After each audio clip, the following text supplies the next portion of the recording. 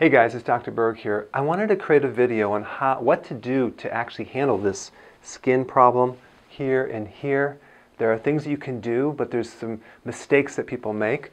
Uh, the first thing you need to know is that hormonally at age 38, things start shifting in the body. Now, over a period of a few more years, when you hit 50, now things really bottom out. So during the menopause time period, which is actually 52, but it can happen like 48, it can happen 56, hormonally, the ovaries stop working. Okay, so there's a backup organ, and the backup organ is the adrenals on top of the kidney. You have two of them.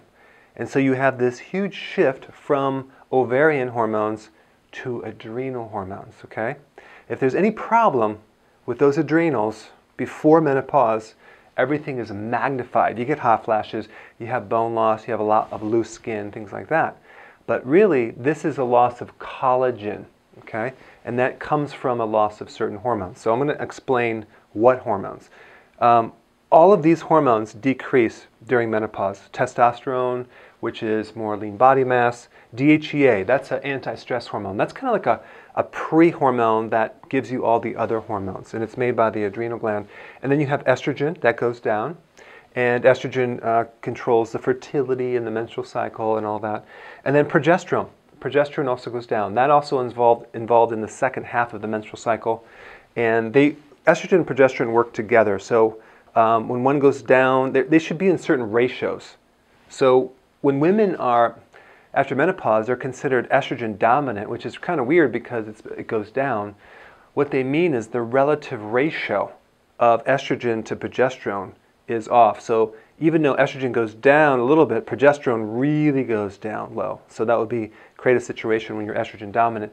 Very similar to if you were to like take um, I don't know uh, sodium and um, salt and potassium. They work together. So if you have too much salt and not enough potassium, you get fluid retention. But if you have, an, what you can do is you can lower salt, but you can also raise potassium and get rid of the fluid that way instead of just avoiding the salt. So there's, in other words, there's just ratios that you have to look at, okay, and these work together.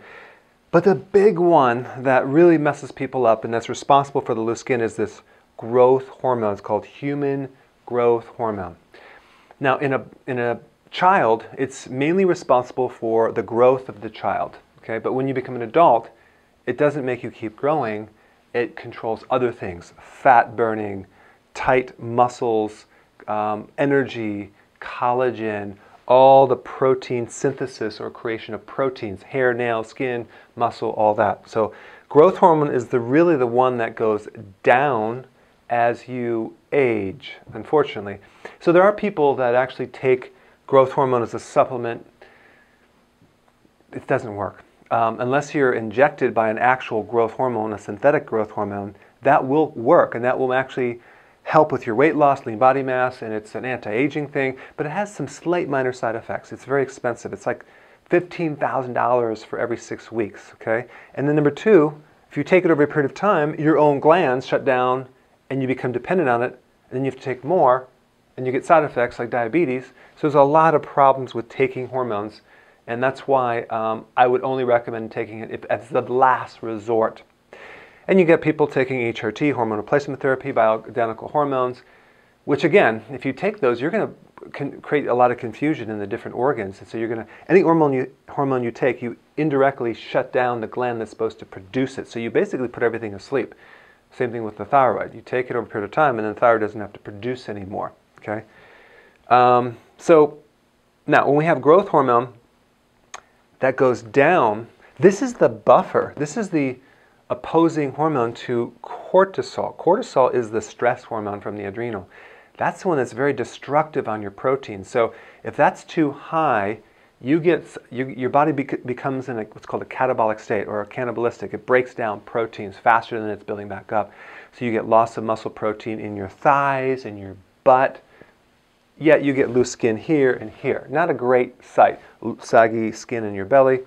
So really the loose skin is a combination of not enough growth hormone and too much cortisol. But remember, cortisol might test uh, normal in your blood, but the ratio is very, very high cortisol, low growth hormone. So even though it's normal, it has nothing to oppose it. There's nothing to buffer it. There's nothing to uh, kind of minimize it. So it's a, just a free cortisol that goes out there and destroys everything. So that's it's too much of this and not enough of this. So in the next part, I'm going to show you what to do about this situation. So check this out. All right, now over here we have things to lower cortisol. Over here we want to raise growth hormone, okay? So let's just kind of go back and forth. Cortisol is triggered by stress. So everything we're going to do is going to reduce stress. Number one, low intensive ex intensity exercise. That would be like walking.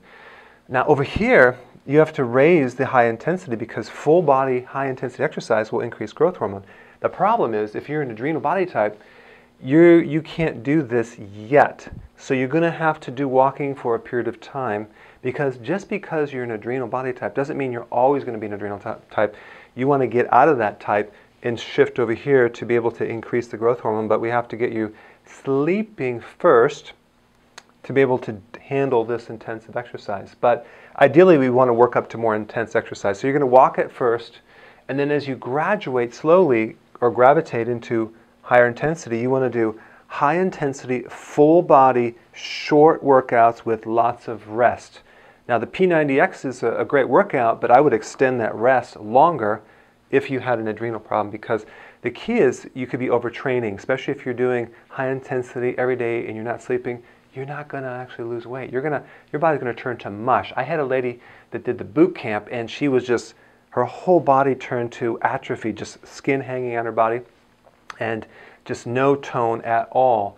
So that person, you, she, maybe she should work out once a week, but the whole key is recovery, okay? So you can overdo it. So we started with the low intensity exercise, walking, long walks every day, just get in your space. Um, not sitting from a treadmill watching TV, but getting out there. Okay, so sleep will increase, lower this and increase this. So sleep is really important. There's a lot of videos I have on sleep. There's nutrition you can take, there's techniques you can do, but um, that's for another video. But the bottom line is we need to increase sleep.